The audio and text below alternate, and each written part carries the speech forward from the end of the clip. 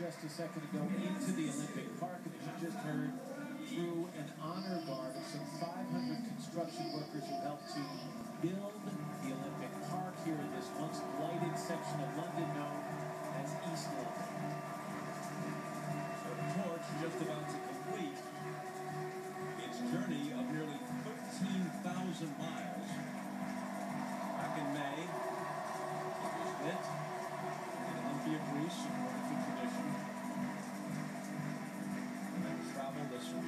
Have.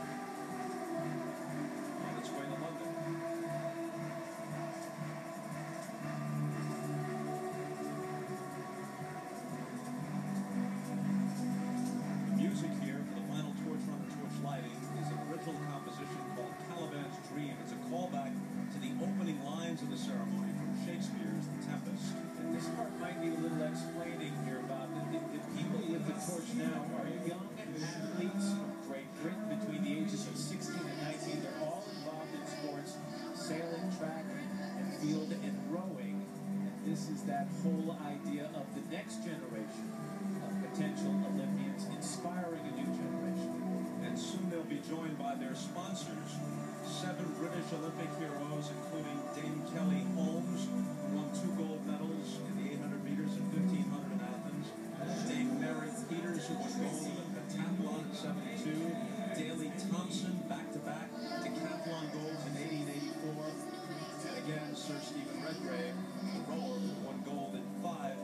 second.